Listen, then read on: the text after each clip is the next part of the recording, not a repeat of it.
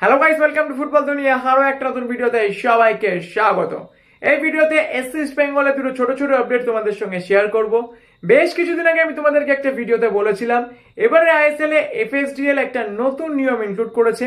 প্রত্যেকটা টিমে অন্তত তিনজন করে ডেভেলপমেন্টাল প্লেয়ারকে সই করাতে হবে। এই ডেভেলপমেন্টাল প্লেয়ার কারা হবে সেই ব্যাপারেও কিছু ক্রাইটেরিয়া আছে। এইসব প্লেয়ারদের বয়স তেইশ বছরের কম হতে হবে এবং এই প্লেয়াররা ওই স্পেসিফিক টিমের রিজার্ভ টিম বা একাডেমি টিমের প্লেয়ার হবে। তো সেই মতো এস ইস্ট বেঙ্গল দুজন ডেভেলপমেন্টাল প্লেয়ারকে আগেই সই করিয়েছিল। অমরজিৎ সিং, কিয়াম এবং লালরিন লিয়ানা হামতে এই দুজনের সই অনেক আগেই হয়ে গেছিল। এবার কিন্তু তৃতীয় ডেভেলপমেন্টাল প্লেয়ারের নাম ঘোষণা করেছে এস ইস্ট বেঙ্গল। একটু আগেই এস ইস্ট বেঙ্গলের অফিসিয়াল সোশ্যাল মিডিয়া হ্যান্ডেলগুলো থেকে যেটা ঘোষণা করা হয়েছে, সাইকম গৌতম সিংকে এস ইস্ট বেঙ্গল তাদের ডেভেলপমেন্টাল প্লেয়ার হিসেবে সই করালো। এই সাইকম গৌতম সিং ইস্ট বেঙ্গল একাডেমির কিন্তু প্লেয়ার ছিলেন। মাত্র উনিশ বছর বয়স হায়দ্রাবাদ এফসির হয়ে ডুরান কাপ স্কোয়াডেও কিন্তু তিনি ছিলেন। এই প্লেয়ারটিকে কিন্তু এস ইস্ট বেঙ্গল সই করিয়েছে, এটা এই মুহূর্তে একদম কনফার্ম আপডেট তো দেখো, এখানে আমি তোমাদেরকে একটা কথা বলে রাখি, এবারের আইএসএল এ কিন্তু এই ডেভেলপমেন্টাল প্লেয়ারদের যথেষ্ট গুরুত্ব আছে। তার কারণ, প্রত্যেকটা ম্যাচ ডে স্কোয়াডে তিনজনের মধ্যে দুজন ডেভেলপমেন্টাল প্লেয়ারকে কিন্তু রাখতেই হবে প্রত্যেকটা দলকে। তো সেক্ষেত্রে এই ধরনের যত ভালো প্লেয়ারকে সই করাতে পারবে দলগুলো, ততই কিন্তু তাদের লাভ।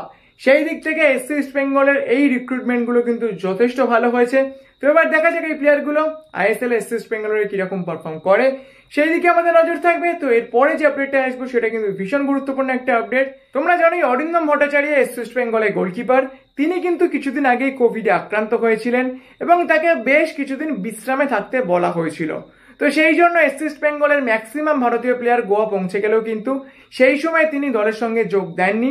এখন যেটা লেটেস্ট আপডেট অরিন্দম ভট্টাচার্য কিন্তু গোয়া পৌঁছে গেছেন। তার যদিও কোয়ারেন্টিনের কোনো প্রয়োজন নেই, তার কারণ তাদের দুটো ডোজ করে ভ্যাকসিন হয়ে গেছে। তো সেক্ষেত্রে অরিন্দম ভট্টাচার্য কিন্তু এস ইস্ট বেঙ্গলের হয়ে প্র্যাকটিসে নামতে আর কোনো সমস্যা রইল না। এটা নিঃসন্দেহে এস ইস্ট বেঙ্গল সমর্থকদের জন্য ভীষণ ভালো একটা খবর। তো যাই হোক, এখনকার আমাদের ভিডিওটা এই পর্যন্ত যদি ভিডিওটা ভালো লাগে, তাহলে প্লিজ একটা লাইক করে দিয়ে মনে করে আমি চ্যানেলটাকে সাবস্ক্রাইব করতে ভুলো না।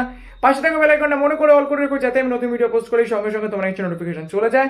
আর তোমার যদি কোনো কোয়ারিজ থাকে ফেসবুক ইনস্টাগ্রাম দুটোই লিঙ্ক আমি ডেসক্রিপশন বক্সে দিয়ে দেবো। তোমরা সেখান থেকে আমাকে ফলো করে নিতে পারো তো চলো এখনকার আমাদের এই পর্যন্তই। দেখা হচ্ছে পরে ভিডিওতে